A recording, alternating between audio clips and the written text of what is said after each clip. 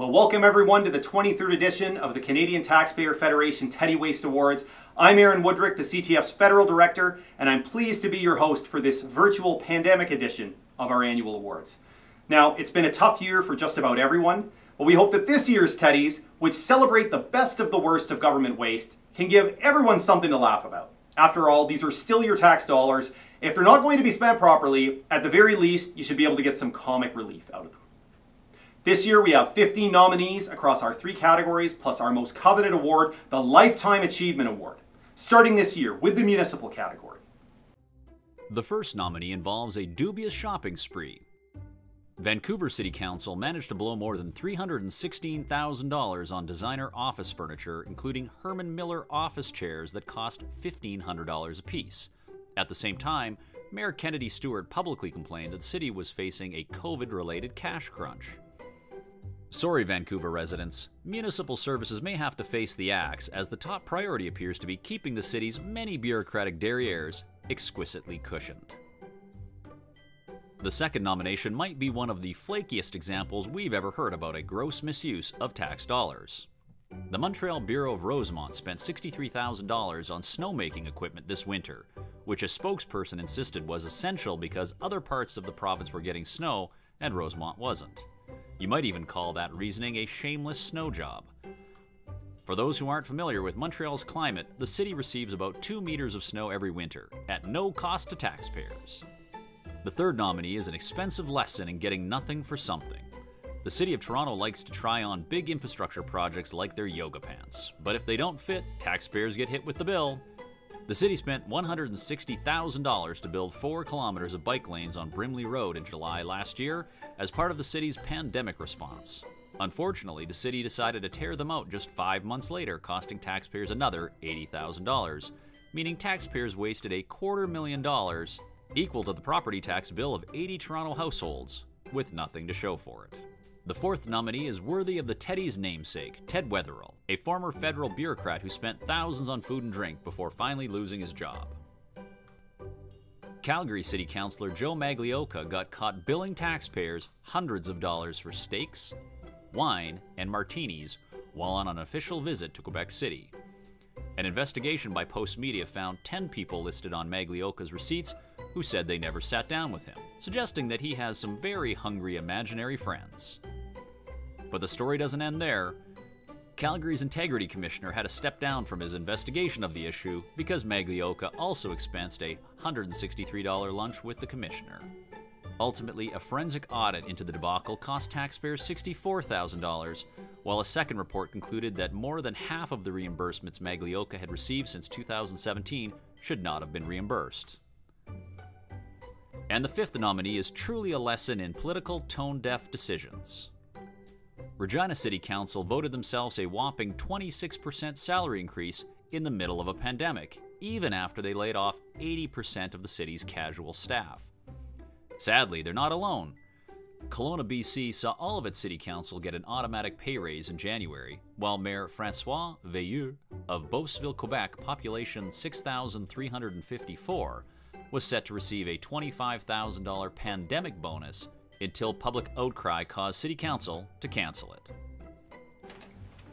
And this year's winner is the City of Toronto. The City of Toronto for its canceled bike lane. You know, we hear a lot about cancel culture these days, but it usually doesn't cost taxpayers a quarter million dollars. For some immediate reaction, let's go to our Ontario Director, Jasmine Moulton. Jasmine, how are you feeling about Toronto taking home a golden pig for this scandalous waste of money? Aaron, I wish I could say that I was really surprised by our this announcement today, but Toronto really lo- does love to waste money, so it's hardly surprising that we're the best of the worst. Now let's move on to our provincial nominees. The first nominee is for a wasteful idea that might have floated in the roaring 20s, but it's a pretty bad one for the 2020s. The government of Quebec spent $30 million to buy shares of a French startup firm, Flying Whales, which makes Zeppelins. Even worse, this wasn't the first time Flying Whales tried to bamboozle the Quebec government for taxpayers' cash, having previously failed because it neglected to address the fact that the water it uses as ballast to stabilize its airships has a habit of freezing during the harsh Quebec winter. Oh, the humanity. The second nominee has repeatedly left taxpayers all wet. The Quebec government bought the F.A. Gauthier ferry to move people across the St. Lawrence at a cost of $175 million. But the ship turned out to be a very expensive lemon and had to undergo repairs. So, to keep the ferry service operating in the meantime, the STQ bought a used ship from Newfoundland for $2 million and proceeded to crash it. Twice within the first month of service. It was then written off as unseaworthy. Last, but certainly not least, the STQ bought a third ship and spent $45 million putting it into service. It too has twice hit a dock, not to mention Quebec taxpayers' pockets. The third nominee really shows that hypocrisy can pay. Former Ontario Hospital CEO Dr. Tom Stewart was fired after it became public that he traveled to the Dominican Republic over the Christmas holidays. Before being fired, Dr. Stewart sat on an advisory panel that guided Ontario's pandemic stay at home orders. It turned out that the hospital's board of directors had actually approved his vacation request and therefore had fired him without cause. He's now eligible to receive a taxpayer funded severance package. The fourth nominee just shows how literally doing nothing can still cost taxpayers a bundle. Once again, the Nova Scotia Department of Transportation is nominated for its idled Yarmouth Ferry. Since being relaunched in 2014, taxpayers have sunk millions into this unprofitable ferry service. Nova Scotia taxpayers have even paid for terminal upgrades and the salaries of custom agents in the United States. The ferry hasn't actually sailed since 2018, but that hasn't stopped it from racking up 34 million in expenses in the last 2 years. It was announced last January that the ferry wouldn't set sail before 2022 at the earliest. And the final provincial nominee is no stranger to the Teddies. The regional transit operator for Metro Vancouver, TransLink, made headlines when they announced agency executives would be taking a 10% pay cut last spring this cut was pretty significant considering the agency's CEO earns more than $448,000, or about as much as New York City's transit boss. Freedom of Information requests obtained by the Canadian Taxpayers Federation revealed that TransLink executives used emergency COVID funding from both the federal and provincial governments to quietly reverse the pay cuts they had announced. The total cost to taxpayers of the cuts they never ended up taking? More than $200,000. And the winner of this year's provincial Teddy, it's the Société des Traversiers du Québec, the agency that never met a ship it couldn't wreck. Let's go to our Quebec director, Renaud Brossard, for some immediate reaction.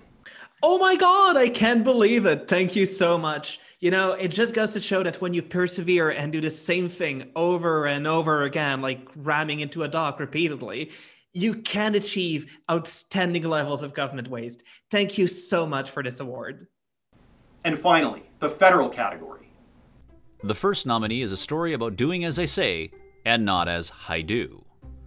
Federal Health Minister Patty Hajdu has repeatedly implored Canadians to avoid non essential travel, despite herself taking multiple weekend trips home on government aircraft to Thunder Bay during travel ban periods. This cost taxpayers over $73,000. Her trips included traveling over Easter and Victoria Day holidays, despite her ministry advising against travel and social gatherings during those times. The minister claimed she had pressing constituency business back in her Thunder Bay riding that necessitated her travel, yet public gatherings were banned at the time. The second nominee represents waste on a global scale. Prime Minister Justin Trudeau's campaign to win Canada a seat on the UN Security Council was an expensive failure. The campaign to impress global leaders and UN bureaucrats cost 2.3 million in taxpayers' money.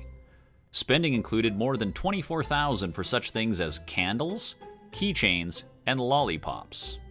For all that effort, Canada still lost out to Norway and Ireland for the seat, showing that when Trudeau once declared, Canada's back, he apparently didn't mean on the Security Council. The third nominee also shows our government's waste doesn't stop here at home. Global Affairs, Canada's Mission Cultural Fund, spends nearly 2 million annually for such absurdities as flying chefs around the world to cook at Canadian embassies, $52,000 for rock star Bryan Adams to show off his photo exhibition in Toronto, and $8,800 for a racy art show in Hamburg, Germany entitled Whose Jizz Is This? featuring an eclectic cast of giant sex toys called fleshies. The fourth nominee is truly out of this world. Former Governor General Julie Payette's turbulent tenure at Rideau Hall was apparently less than friendly to her staff, and taxpayers didn't fare much better. Payette spent more than $650,000 on her swearing in ceremony and another half million on renovations at the Governor General's residence, but never actually moved in. While the investigation into her dubious management style cost taxpayers another 393,000. But even though Payette has blasted off as former GG, she's still allowed to bill taxpayers up to $200,000 a year for office expenses thanks to the government's ludicrous lifetime expense policy. Ground control to the Prime Minister, time to abort expense accounts once a Governor General blasts off. The fifth and final nominees show that sometimes there's no trough a hungry hog won't happily get its snout into. The federal Liberals, Conservatives, New Democrats, and Greens all took advantage of the federal emergency wage subsidy program intended to help struggling businesses keep staff employed during pandemic shutdowns. They did this in spite of the fact that political parties already receive multiple forms of hefty taxpayer subsidies, such as the federal political tax credit that has cost taxpayers around $145 million since 2016. The Conservatives have said they're now paying it back, while the Liberals have said they've stopped taking it. As for provincial parties, as of today, the only governing provincial party in the country that has confirmed it's bilking taxpayers with this program is the United Conservative Party in Alberta. And the winner of this year's Federal Teddy. You know, I almost want to scream, but I'm told no one can hear you scream in space. It's former Governor General Julie Payette. Let's get some immediate reaction from our in-house royal specialist, our British Columbia director, Chris Sims. Oh my, how fascinating. Yes, Ms. Payette, unfortunately, you deserve this award because blowing through hundreds of thousands of taxpayer dollars in such a short amount of time is definitely waste on a grand scale. And now, our most prestigious award, the Lifetime Achievement Award for Waste. Past recipients have included everyone from premiers and prime ministers to Bev Oda and Bombardier. This year's winner is a hapless federal project that many of our nation's capital are intimately familiar with, spanning 12 years, two governments, and more than 2 billion in wasted taxpayer dollars. This year's winner of the Lifetime Achievement Award is Public Services and Procurement Canada for the Phoenix payroll fiasco. What started as a plan by Stephen Harper's Conservatives to save taxpayers money ended up doing quite the opposite. Phoenix's cost overruns and delays saw thousands of federal bureaucrats not getting paid properly for years, or in some cases, paid far too much. The Trudeau Liberals also deserve part of the blame after they ignored repeated warnings that the system was not ready and decided to launch it anyway.